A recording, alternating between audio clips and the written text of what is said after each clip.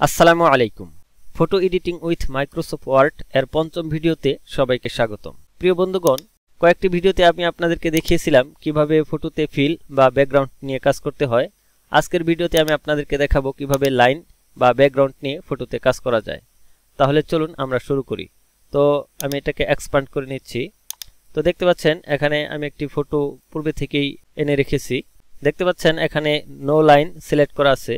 তো আমি যদি এখানে সলিড লাইন এখানে ক্লিক করে দেই, তাহলে দেখতে পাচ্ছেন এখানে একটি বর্ডার এসে গেছে এবং বর্ডারের উইথটি হলো টু পিক্সেল তো এটা যদি বোঝা না যায়, তাহলে আপনি এভাবে বাড়িয়ে নিতে পারেন।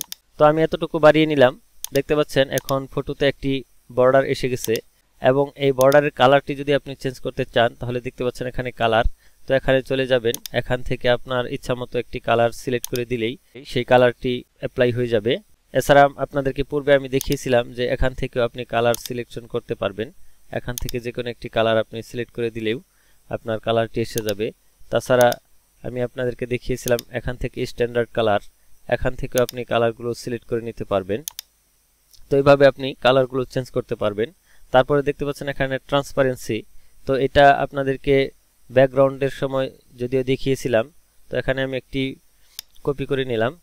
ট্রান্সপারেন্সিটা আপনাদেরকে বোঝানোর স্বার্থে আমি যদি এই ফটোর উপর এখন ট্রান্সপারেন্সিটা কমাতে থাকি, তাহলে দেখতে পাচ্ছেন রংটা হালকা হয়ে গেছে এবং ব্যাকগ্রাউন্ডে দ্বিতীয় ফটোটি বর্ডার দিয়ে দেখা যাচ্ছে, দেখতে পাচ্ছেন। এভাবে কাচের মতো হয়ে যায়।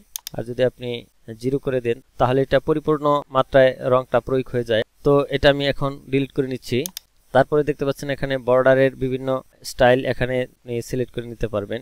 দেখতে পাচ্ছেন এখানে কম্পাউন্ড টাইপ অর্থাৎ আপনি কোন ধরনের বর্ডার চান, সেই ধরনের বর্ডার আপনি এখান থেকে সিলেক্ট করে দিতে পারবেন। দেখতে পাচ্ছেন, এখানে বিভিন্ন ডিজাইনের বর্ডার রয়েছে। তো আপনার যেটা ভালো লাগে, আপনি সেটাই এখানে অ্যাপ্লাই করতে পারবেন।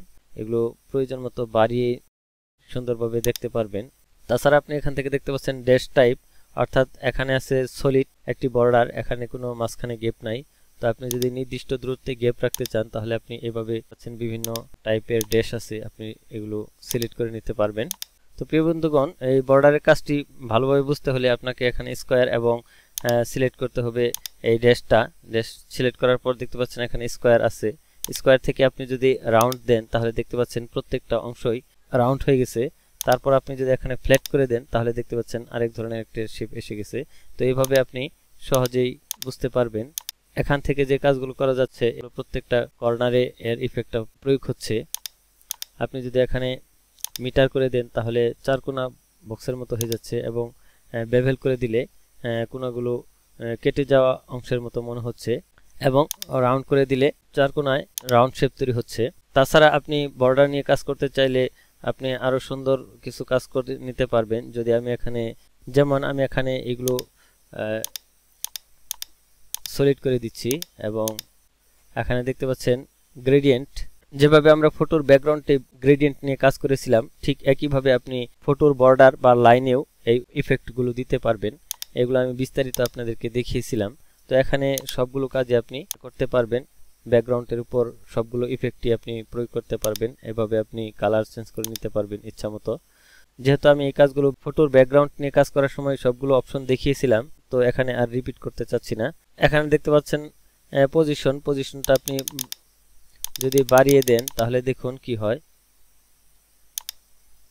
এবং এগুলোকে যদি আপনি চেঞ্জ করেন, তাহলে দেখতে পাচ্ছেন ফটোতে আমরা যেভাবে ব্রাইটনেস কমিয়ে বাড়িয়ে কাজ করেছিলাম, ঠিক এখানেও সেভাবে আপনি কাজগুলো করে নিতে পারবেন।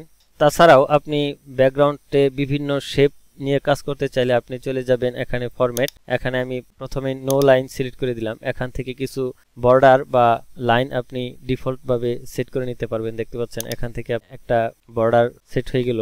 এখানে আপনি বিভিন্ন ডিজাইনের এবং বিভিন্ন সুন্দর সুন্দর ব্যাকগ্রাউন্ড আপনি ইউজ করতে পারবেন। তো আমি এটা কেটে নিয়ে আমি সম্পূর্ণভাবে জিনিসটা দেখাই। তো আমি যদি এখানে আরও কিছু পিকচার এখানে আপনাকে নিয়ে দেখাই, তাহলে দেখতে পাচ্ছেন আমি এই ফটোগুলো ছোটো করে নিচ্ছি। এবং এটাকে বিহাইন্ড টেক্সট করে নিলাম। তো এই ফটোগুলোতে আপনি বিভিন্ন ইফেক্ট প্রয়োগ করতে পারবেন। দেখতে পাচ্ছেন, এখানে বিভিন্ন ডিজাইন এবং শেপের বর্ডার দেওয়া আছে। আপনি এই বর্ডারগুলো এখানে সহজেই ইউজ করতে পারবেন। তো আমি আরও কয়েকটি ফটো এখানে ইনসার্ট করে আপনাকে যদি দেখাই, তাহলে বিষয়টা ক্লিয়ার বুঝতে পারবেন। তো এই কয়টি ফটোর মাধ্যমে আমি আপনাদেরকে সবগুলো বিষয় দেখানোর চেষ্টা করব। দেখতে পাচ্ছেন, এখানে ক্লিক দিলেই সবগুলো ডিজাইন আপনার কাছে দেখা যাবে। দেখতে পাচ্ছেন, এখানে সুন্দর একটি বর্ডার অ্যাপ্লাই হলো। তাছাড়া আপনি এখান থেকে দেখতে পাচ্ছেন, সার্কল টাইপের একটা ইফেক্ট দেওয়া যাচ্ছে। তাছাড়া আপনি এখান থেকে ইউজ করতে পারবেন একটি শেপ তাছাড়া এখানে সবগুলো অপশনই আছে, আপনি সিলেক্ট করে দেখবেন। তাছাড়া আপনি যদি এই বর্ডারের কালার চেঞ্জ করতে চান, তাহলে আপনি চলে যাবেন পিকচার বর্ডার এখানে। এখান থেকে আপনি কালারটা সুন্দরভাবে আপনি আপনার মন মতো একটি কালার দিয়ে নিতে পারবেন। এখানে যদি আমি কালারটা চেঞ্জ করতে চাই, তাহলে দেখতে পাচ্ছেন শুধুমাত্র এখান থেকে কালারগুলো সিলেক্ট করার মাধ্যমেই বর্ডারের কালারগুলো চেঞ্জ করে নিতে পারছি। এখান থেকে আপনি ফটোর বর্ডারে বিভিন্ন ইফেক্ট প্রয়োগ করতে পারবেন। দেখতে পাচ্ছেন এখানে ইফেক্ট তো এখান থেকে দেখতে পাচ্ছেন অনেকগুলো অপশন এখানে আপনার যে ইফেক্টটা ভালো লাগে দেখতে পাচ্ছেন, এখান থেকে সেই ইফেক্টটাই করে নিতে পারবেন। এখানে দিলে সাধারণত কালারটা চেঞ্জ হয়ে যায়। চেঞ্জ হওয়ার পরে সমস্যা নেই, আপনি আবার কালারটা পরিবর্তন করে নিতে পারবেন। তো আমি যদি এই ফটোটা একটু বড় করে আপনাদেরকে বিভিন্ন ইফেক্টগুলো দেখাই। দেখতে পাচ্ছেন এখানে বেশ কিছু গ্রুপ আছে। গ্রুপ ওয়াইজ এখানে ইফেক্ট আছে। আপনি সবগুলো বিষয় এখান থেকে সিলেক্ট করে দেখতে পারবেন। এখানে আছে প্রিসেট অর্থাৎ এই প্রিসেটগুলো আপনি করে নিতে পারবেন খুব সহজেই। তাছাড়া প্রিসেটটাকে যদি আমি এখান থেকে জিরো করে দিই এবং শেডোটাকে যদি আমি এখানে জিরো করে দিই, তাহলে দেখতে পাচ্ছেন পূর্বে যে শেডোটা দেখা গেছিল, এখন এই শেডোটা নেই। তো এখান থেকে আপনি বিভিন্ন শেডোর বিভিন্ন দিক দেখতে পাচ্ছেন, এখানে নিচ দিকে কালো একটা শেডো আসবে, এখানে সিলেক্ট করে দিলে হয়তো এটা বেশি একটা বোঝা যাচ্ছে না। তো শেডোটাকে ভালোভাবে বোঝার জন্য দেখতে পাচ্ছেন শেডো অপশন এখান থেকে আপনি ডিস্টেন্সটা বাড়িয়ে নেবেন, ইচ্ছা মতো বাড়িয়ে নিতে পারবেন। দেখতে পাচ্ছেন এখন শেডোটা বোঝা যাচ্ছে। তো এখান থেকে আপনি শেডোটা কন্ট্রোল করতে পারবেন। দেখতে পাচ্ছেন ট্রান্সপারেন্সি বাড়িয়ে কমিয়ে আপনি এখান থেকে সব সুন্দরভাবে কন্ট্রোল করতে পারবেন। তো এখানে আপনি ব্লারটা বাড়িয়ে নিতে পারবেন, আবার কমিয়ে ফেলতে পারবেন। এটা হলো ব্লার এটা হলো সাইজ এখান থেকে সাইজ ছোট বড় করে নিতে পারবেন। এখানে দেখতে পাচ্ছেন অ্যাঙ্গেল অ্যাঙ্গেলগুলো দেখুন, বাড়িয়ে কমিয়ে বিভিন্ন অ্যাঙ্গেলে নাড়াচাড়া করছে। আপনি যে কোনো অ্যাঙ্গেলে এটা সেট করে নিতে পারবেন যে কোনোভাবে দেখতে পাচ্ছেন এখানে ডিস্টেন্স ডিস্টেন্সটা আপনি বাড়িয়ে দিলে দেখতে পাচ্ছেন ফটো থেকে শেডুর দূরত্বটা বেড়ে যাচ্ছে, আবার আপনি এখানে কমিয়ে দিলে শেডুর থেকে ডিস্টেন্সটা কমে যাচ্ছে। তাছাড়া আপনি এখানে দেখতে পাচ্ছেন রিফ্লেকশন আমরা এখানে যে অপশনগুলো দেখেছি, ঠিক সেই অপশনগুলো এখানে এসে গেছে। যদি এই ফটোতে একটা রিফ্লেকশন ইউজ করি তাহলে বোঝা যাবে, দেখতে পাচ্ছেন। এখানে যদি আমি এটা সিলেক্ট করে দিই, তাহলে ফটোটি পানিতে রাখলে যেভাবে একটা রিফ্লেক্ট তৈরি হয়, সেভাবে একটা রিফ্লেক্ট তৈরি হলো। তো এই রিফ্লেক্টটাকে আপনি এখান থেকে কন্ট্রোল করতে পারবেন। আপনি ব্লার বাড়িয়ে ফেলতে পারবেন, কমিয়ে ফেলতে পারবেন। তাছাড়া এখানে সাইজটা যদি আপনি বাড়িয়ে দেন, তাহলে দেখতে পাচ্ছেন রিফ্লেকশনের সাইজটা বড় হয়ে যাবে। আপনি কমাতে থাকলে সাইজটা কমে যাবে। তাছাড়া দেখতে পাচ্ছেন এখানে ডিস্টেন্স ডিস্টেন্সটা যদি আমরা বাড়িয়ে দিই, তাহলে দেখতে পাচ্ছেন ফটো থেকে রিফ্লেকশনের ডিস্টেন্সটা বেড়ে যাচ্ছে। তাছাড়া আমরা এখানে বিভিন্ন প্রিসেট আছে যে কোনো একটা প্রিসেটও আপনি ইউজ করতে পারবেন। তাছাড়া আপনি ট্রান্সপারেন্সি বাড়িয়ে কমিয়ে আপনি এগুলো দেখতে পারেন যেভাবে আপনার রাখার সুবিধা হয়। দেখতে পাচ্ছেন এখানে আছে গ্লো গ্লো যদি আমরা ইউজ করি, তাহলে দেখতে পাচ্ছেন এখানে প্রিসেট দেওয়া আছে। প্রথমে প্রিসেটগুলো আপনি দেখে নেবেন। প্রিসেট দিয়ে যদি কাজগুলো হয়ে যায়, তাহলে আর কষ্ট করার দরকার নেই। তো এখানে সাইজটা আমরা যদি বাড়িয়ে দিই, তাহলে দেখতে পাচ্ছেন এক ধরনের গ্লো বেড়ে যাচ্ছে। আমরা শেডোটাকে আপাতত অফ করে রাখি। গ্লোটাকে আপনি কালার চেঞ্জ করতে পারবেন ইচ্ছা মতো আপনি কালার দিয়ে নিতে পারবেন। তাছাড়া এখানে দেখতে পাচ্ছেন সাইজ সাইজটাকে আপনি কন্ট্রোল করতে পারবেন এখান থেকে। তাছাড়া এখান থেকে দেখতে পাচ্ছেন ট্রান্সপারেন্সি আপনি ট্রান্সপারেন্সি কমাতে বাড়াতে পারবেন।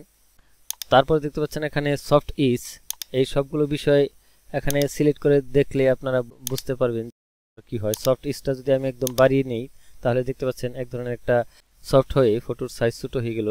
তো এইভাবে আপনি বাড়াতে থাকলে দেখতে পাচ্ছেন এখান থেকে ইচ্ছা মতো বাড়াতে পারবেন। তো এইভাবে সফট ইজ আমি যদি গ্লোটাকে যদি আমি এখানে উঠিয়ে দেই এবং সফট ইজটাকে বাড়িয়ে দেই তাহলে আরও সুন্দরভাবে বুঝতে পারবেন। দেখতে পাচ্ছেন এখন সফট ইজ করার কারণে ফটোটা আস্তে আস্তে সফটনেস হতে হতে একদম কমে গেছে। তাছাড়া আছে এখানে থ্রি ফরম্যাট আপনি ফটোটাকে যদি থ্রি ফরম্যাটে উপস্থাপন করতে চান, তাহলে তাও করা সম্ভব। এখান থেকে দেখতে পাচ্ছেন, আমি যদি এটাকে সিলেক্ট করে দেই, তারপর এখানে এগুলোকে আপনি ইচ্ছা মতো বাড়িয়ে কমিয়ে দেখতে পারেন। দেখতে পাচ্ছেন, এখানে এক ধরনের থ্রি ইফেক্ট এটা হলো টপ ভেবেল এটাকে বলা হয় টপ ভেবেল তো আমি এটাকে দেখতে পাচ্ছেন, এখানে অনেকগুলো প্রিসেট আছে। এই প্রিসেটগুলো আপনারা ব্যবহার করতে পারবেন। তাছাড়া প্রিসেট থেকে আপনি ইচ্ছামতো এইভাবে বাড়িয়ে কমিয়ে কাস্টম বেবেল তৈরি করতে পারবেন। তাছাড়াও আপনি বটম বেবেল যদি তৈরি করতে চান, তাহলে এখানে বটমের কিছু প্রিসেট দেওয়া আছে এবং এগুলো আপনি বাড়িয়ে কমিয়ে ইচ্ছামতো সাইজটা করে নিতে পারবেন। তাছাড়া দেখতে পাচ্ছেন এখানে ডেপথ এই সবগুলো বিষয় আপনারা বিস্তারিত দেখবেন, নিজেরা পরিবর্তন করবেন। এখানে অনেকগুলো অপশন আসলে এগুলো সিলেক্ট করে দেখলেই আপনারা ভালোভাবে বুঝতে পারবেন কোনটার কি কাজ। নিজেরাই বুঝে যাবেন কি কি কাজ করা যায়। তাছাড়া দেখতে পাচ্ছেন থ্রি রোটেশন এখান থেকে আপনি বিভিন্ন প্রিসেটে ফটোটাকে রোটেট করতে পারবেন। দেখতে পাচ্ছেন বিভিন্ন অ্যাঙ্গেলে এটা রোটেট হবে, অর্থাৎ ঘুরে যাবে। দেখতে পাচ্ছেন এখানে অনেক সুন্দর ইফেক্ট তৈরি হচ্ছে। তো এই সবগুলো বিষয় আপনারা সিলেক্ট করে দেখলে আশা করি বুঝতে পারবেন কোনটার কি কাজ এবং যে কাজটা আপনার প্রয়োজন, এখানে থেকে সেই কাজটা করে নিতে পারবেন। তারপরে এখানে দেখতে পাচ্ছেন আর্টিস্টিক ইফেক্ট এখানে এখান থেকে ফটোর আর্টিস্টিক ইফেক্ট আমরা পূর্বেই প্রয়োগ করে দেখিয়েছিলাম কীভাবে আর্টিস্টিক ইফেক্ট দেওয়া যায়।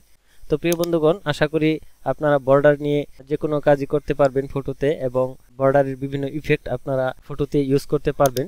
ভিডিওটি ভালো লাগলে অবশ্যই একটি লাইক দিবেন এবং সাবস্ক্রাইব করে আমাদের সাথেই থাকবেন। তাহলে পরবর্তী ভিডিও দেখার আমন্ত্রণ জানিয়ে আজকের মতো এখানেই শেষ করছি। আল্লাহ হাফিজ।